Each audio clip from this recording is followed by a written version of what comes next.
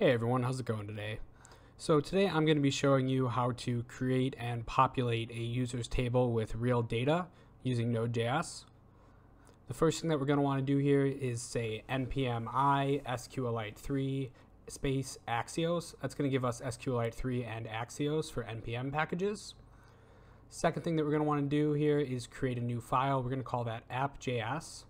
Then we're going to create another file. We're going to call that test.db. That will be our database. Now all of our code will run inside of app.js. The first thing that we're going to want to type here is const SQLite equals require SQLite3 dot verbose, which is a method. Next, we're going to say const axios equals require axios. We can also declare a variable up here using let. Let's call this SQL. All right, hopping right into things, first thing we should do is connect to the database. const db equals new SQLite database.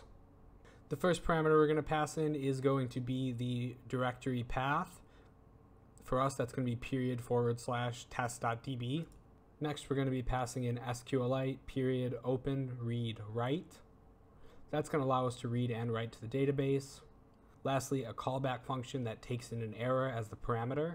And we're just going to say that if there's an error, let's console log the error. All right, let's run it, make sure it's working. Good, no errors. So far, so good. Next, we're going to create a table. So what we're going to say here is SQL equals create table users, and then in parentheses, we're going to pass all the columns that we want. The first column is going to be called ID, and that is of course going to be of type integer, and it's going to be a primary key. For the second column, we can say username, then first name, then last name, email, birthday, and country. Let's run it. Now if we run it again, we should get an error. And there we go. We got an error because the table already exists. That's exactly what we want. So we can comment out this create table statement and the db.run. Next up, we're going to be getting the data. What we can say here is async function get data. It's going to take in a URL.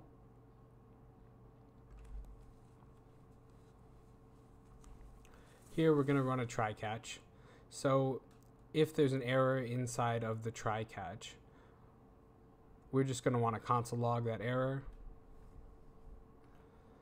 But let's say there's not an error inside of the try. What we're going to say here is const destructured data from await axios.get URL.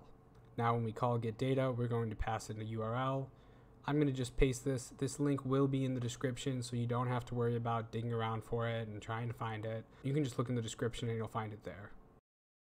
Let's make sure that we put await here, and let's console log the data. Okay, after running it, you'll see we have all of this nice data. We get an ID, a username, password, first name, last name, email. We get all kinds of stuff. We even get a country in the address field and a date of birth. This is exactly what we want here. And we have 20 of them, so there's quite a few. Getting rid of this console log, what we're going to do now is we're going to say data for each. We're going to loop through them all as D. Then we're going to say let user data equal an object.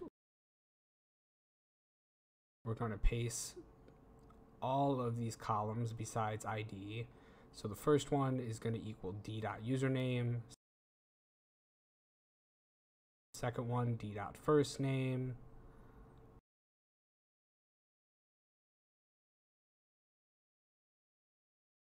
Third one is going to be d.lastname.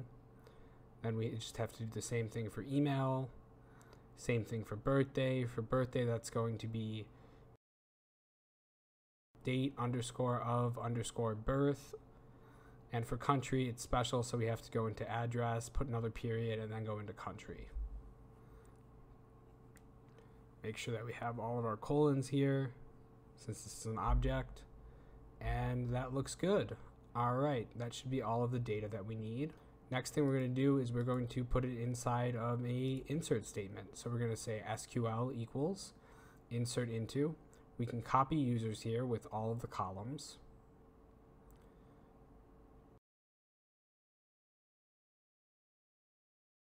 Paste that. And then we have to get rid of the ID integer primary key. And that looks good. So the next thing that this is going to need is some values. It's going to need six values because we have six columns. Each one of these values for now is just going to be a question mark. So six question marks. Then we can say db.run, pass the SQL, empty brackets, a callback function, which is going to take in an error, and it's going to say if there's an error, console.error the error.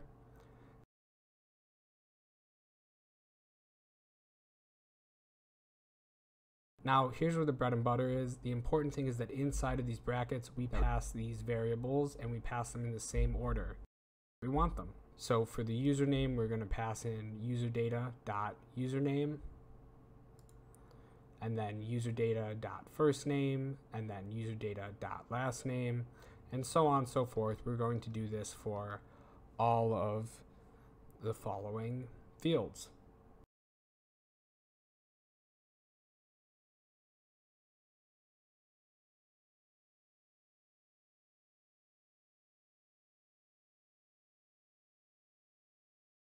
Once that's done, I'm going to add a little else statement here.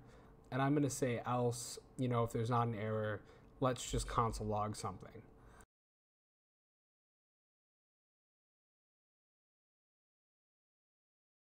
For me, I'm going to console log success just so that I know that it's all working well. And then I'm going to run it. All right, we got a bunch of successes. Let's run it one more time. So we should have 40 entries. We won't know for sure yet, but we will know in a little bit. All right, next let's comment out get data and let's query the database. So let's make SQL equal to select all from users. Then we're going to say db all, pass in the SQL, empty brackets, and we're going to take in the error and we're also going to take in rows in this callback. Here we can say if error return, make sure that return is there, console.error, error. And now we're assuming there's not an error because we made it this far. So we're going to say rows dot for each as a row. And we're just going to console log the row.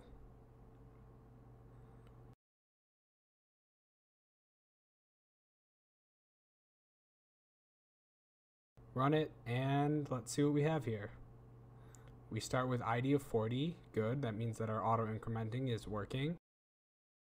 And we've got a full database. Look at this. We've got all the data starting with 1 going to 40. This is exactly what we were looking for. It's got username, first name, last name, email, birthday, country.